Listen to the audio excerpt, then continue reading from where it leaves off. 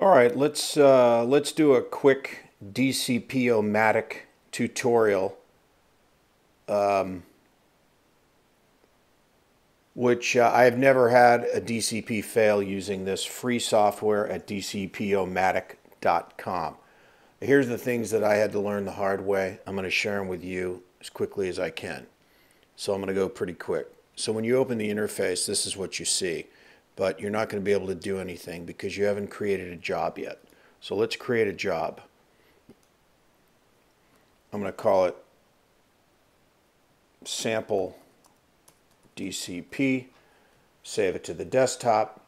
If you're in here and you make, you can make templates in DCP-O-Matic, and if you did and save them, this is where they'd be. As you can see, I made three templates, uh, a short film, a feature, uh, I'm sorry, a, tra- a feature from 16.9 material and a trailer from 16.9 material. But let's not do any of those um, because we're going to start from scratch. So you can browse and save this DCP directly to the formatted drive you want. Um, but for today, I'm going to do it to the desktop. So we click OK.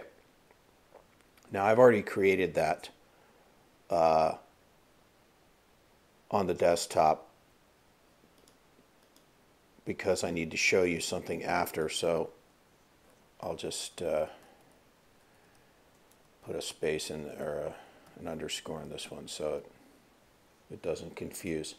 All right, so now you've unlocked the program, you've got a job title, and now your first thing you want to do is add the movie file you created, the QuickTime movie uh, with the embedded sound.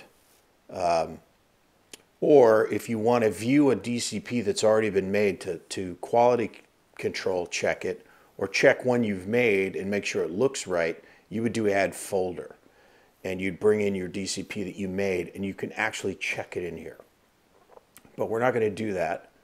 Uh, we're going to add a movie file, which I have on my desktop called sample DCP. And I'm going to open it, and now we will see it in here.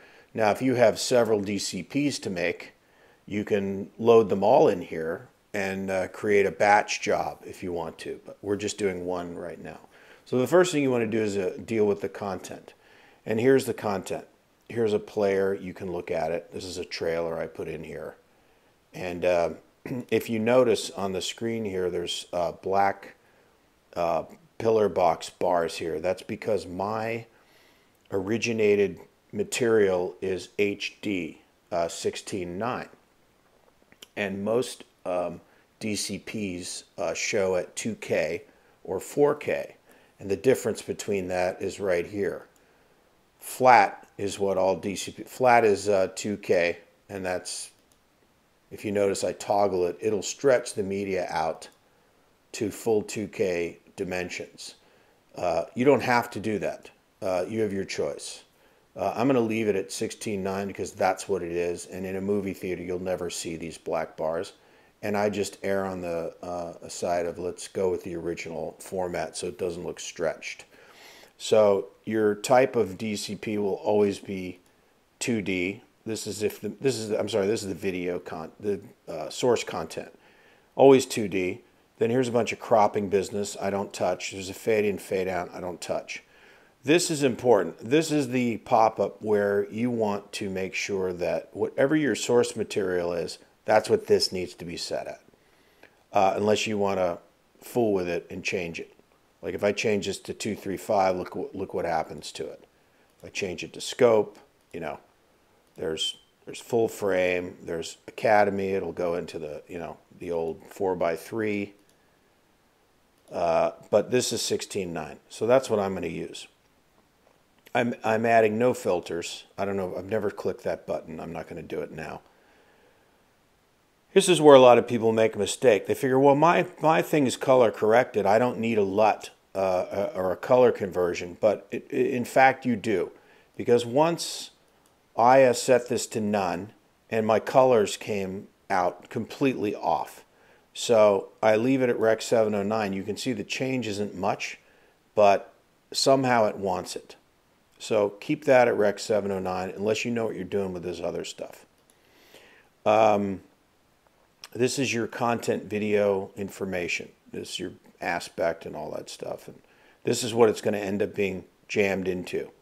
It's going to pad, padded with black to fit a container, a flat container, which is 2K at 185. There's your frame rate. Okay, so that's video. Now let's go to audio. In the audio, if it's a stereo film, you're going to see left and right. If it's a 5-1, you're going to see the center, the subwoofer, the left surround, and the right surround. Uh, if you don't have that, I suppose you can add audio, you know, a separate audio uh, stream to this. I know that it's above my pay grade though, so I can't tell you how to do it. But my 5.1 uh, movie export will show up with all all of these in here. Um, if you uh, if you have a where's the thing? Oh, that's on the DCP side. Okay, this is a stereo. Okay, subtitles I have none. Timing, I don't know. You know, this is like who knows what this is. So I leave it alone. All right, so that that tab is done. All right, and in here you can play your DCP and look at it or your uh, your movie file. Now we click over here at the DCP tab, and we're going to give we're going to uh, fix these things. Now, the the name in which I created, as you recall, is sample underscore DCP. And if you keep this box checked, it's going to use this, this name right here, which is this long technical name. Uh, I uncheck it, so my DCP will be in a folder like that. So when the ingest's computer looks at it, the server, this is what it's going to see. Uh, that way, if you want to call it, the, put the title of your movie in here, underscore, you know, feature, whatever you want to call it, you, you got you got all these characters you can use. Uh, we're looking at a trailer right here, so the content type will be trailer, and that also is for the server somewhere that it can tell what it is, whether it's a featured trailer. Signed is already by default checked. I don't know why. Un encrypted is unchecked. So unless you have an encryption key that you're giving and locking, I would leave that alone. This is a single reel and the standard is SMPTE, not Interop. Okay, now down here, very important. The container is always going to be flat. Always. Every DCP cinema projector in America runs this. Don't fuck around with these other settings for now. Here's your frame rate. Obviously, that should be the same as your movie. And the resolution is 2K. Unless your movie is a 4K file, leave this at 2K. Now you click the audio and the bandwidth of the JPEG compression. I just leave whatever the default is. The audio here, this is interesting most systems don't like stereo. They want to believe everything is 5-1. So when you try to make this stereo and create a DCP, it'll say, hey, there's only two tracks of audio in your in your thing. Are you sure you want to do that? And of course the answer is no. So leave this at six channels, 5-1, and instead go down here to this stereo to 5-1 up mixer thing and choose one A or B. And it's sort of a fake 5-1. And uh, that's what I do here. Show audio, all that does is it analyzes the audio and tells you if you have peaks. Uh, and I, to be honest, never deal with that. Okay, so we've set everything up. We've got our content, we've have our DCP settings. If we wanted to make a template of this, we would just save as template and it would appear on your startup screen from that point on. So if you like these settings and they work for you, then I would suggest making a template and then you just have to choose that template next time, drop your file in and go. All right, so now we've done everything. That's all you're going to do here. Now you're going to go into the jobs uh, menu and pull down to make DCP. And look, it already it's telling me it doesn't like the audio level. It's high on the center channel. You should reduce the gain of your audio. Well, I'm not doing it because this was I like it hot. So I hit transcode, and here's here it goes, and and the uh, it'll give me a progress bar, and uh, et cetera, et cetera. And when that's done, it'll be solid like this. It it doesn't tell you it's done. It doesn't alert you that it's done. It's really it's really amazingly not informative. So when it's done, uh, I'm going to pause this. Uh, this will be full, and then now let's go to the desktop and I want to show you the thing that nobody tells you and I had to learn the hard way.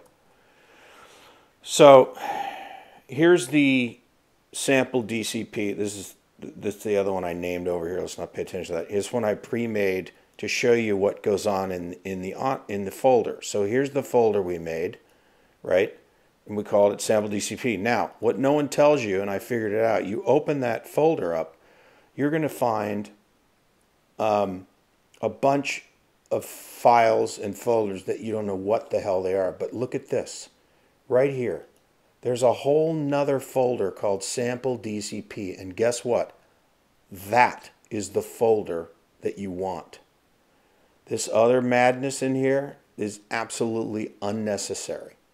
So this is what you're going to burn onto a, a, a drive is this sample DCP uh, it's actually uh, it won't replace itself.